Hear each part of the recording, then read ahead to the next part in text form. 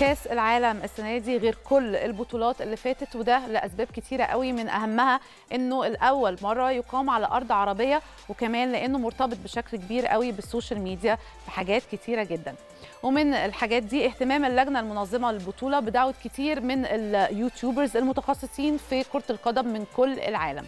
وده طبعا جه على حساب عدد من لاعبين الكرة القدامى واللي تقريبا دعوتهم كانت نادرة جدا وده بيوضح قد إيه اللجنة المنظمة مهتمة جدا من ساعة حفل قرعه البطولة بال social media بشكل خاص. الموضوع طبعا ما وقفش لحد هنا ده إحنا كمان شفنا حالات كتيرة قوي وصلت لدرجة الاشتباك اللفظي بين المدربين على صفحات ال social media وعشان كده قررنا إنه ده يكون موضوع فقرة scoop النهارده عشان نعرف هو إيه اللي اتغير في البطولة دي عن البطولات اللي فاتت وليه بقت بطولة خاصة جدا على ال social media. وهيكون معانا في الفقرة دي الصحفية ريم حمدي على زوم من قطر عشان نعرف منها كل التفاصيل. أستاذة ريم إزي حضرتك؟ مساء الخير ازيك يا ريهام؟ عاملة إيه؟ الحمد لله. كله تمام؟ الحمد لله. قبل أي سؤال عايزه أعرف منك الأجواء هناك بما إن أنت هناك يعني. بصراحة الأجواء حلوة جدا جدا جدا جدا فوق ما تتخيلي يعني. آه كل شبر تقريبا هنا في قطر في فعاليات وفي آه event ات للجماهير تقريبا مش هتمشي في أي مكان هنا غير لما تلاقي فعالية event جماهير متجمعة من كل أنحاء العالم موجودة.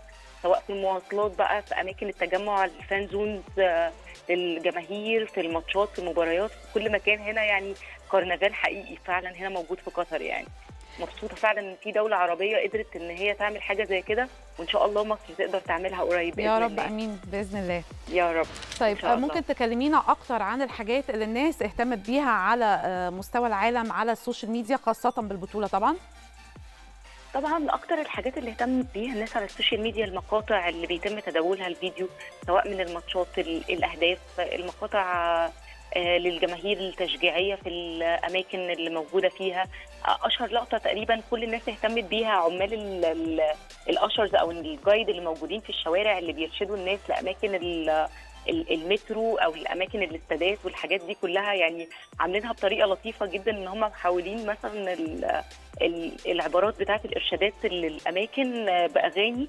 فبالتالي الناس كلها كانت بتقف تصورهم وتقف تغني معاهم وترقص معاهم في الشوارع. فدي كانت أشهر المقاطع اللي تم تداولها خلال الفترة اللي فاتت على ال social media يعني. ساعات بنلاقي حاجات آه، يعني ممكن نقول عليها negative أو سلبية على ال social media. تفتكري دي بتكون حاجات طالعة بس كده عشان ال social media لكن المنظر في الحقيقة غير خالص؟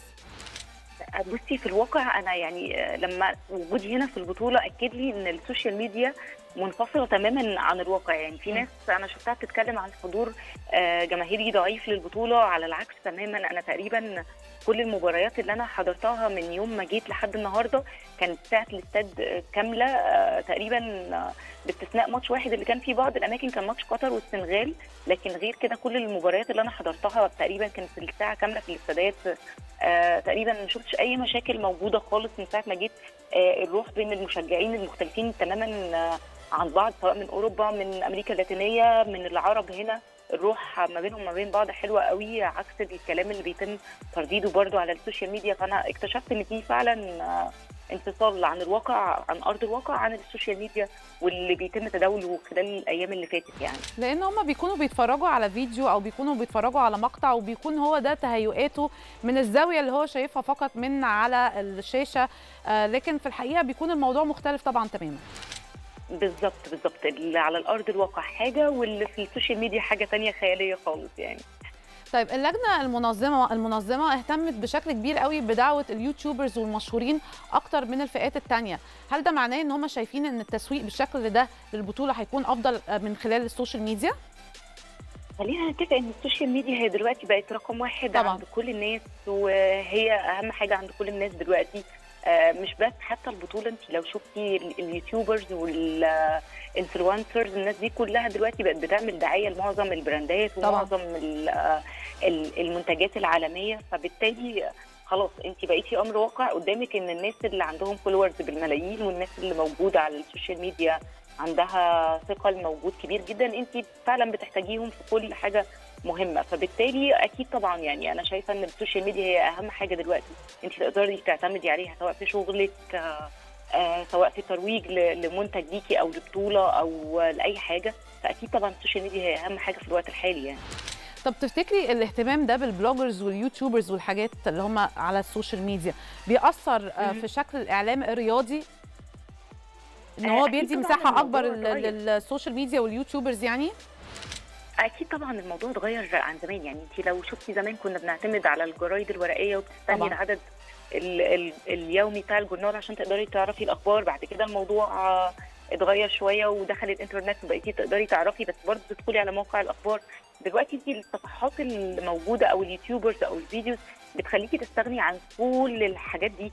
فالمحتوى الرياضي نفسه اتغير. الأول آه، انت كنت بتعتمدي على المواقع الصحفية دلوقتي بقى المحتوى الفيديو هو أهم حاجة عند المواقع الصحفية الكبيرة آه، مش بس حتى ال YouTubers. فبالتالي ال ال الرياضة والكورة وكل حاجة اتغيرت وطبعا يعني ال- ال videos وال social media هي برضو بقت رقم واحد فيها يعني. فبالتالي المحتوى الرياضي كل يوم بيتغير كل يوم بيتغير.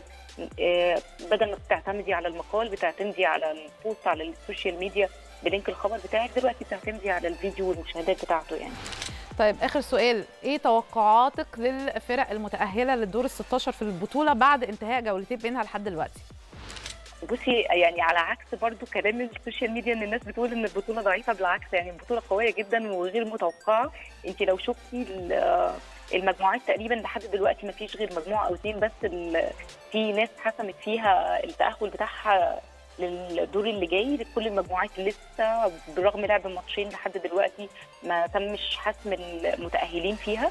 أتمنى طبعا ال- السعودية تقدر لسه عندها فرصة والمغرب بما إننا عربي يعني لسه عندها فرصة طبعا تونس وقطر خلاص. فأتمنى إن هم يقدروا إن هم يحسموا تأهلهم ويعملوا بطولة تاريخية بما إنها بتتلعب على أرض عربية يعني. صحفية رياضية ريهام حمدي بشكرك جدا على وجودك معايا. شكرا جدا يا ريهام ليكي ولكل مشاهدين البرنامج. ميرسي وبكده نكون خلصنا فقرة سكوب.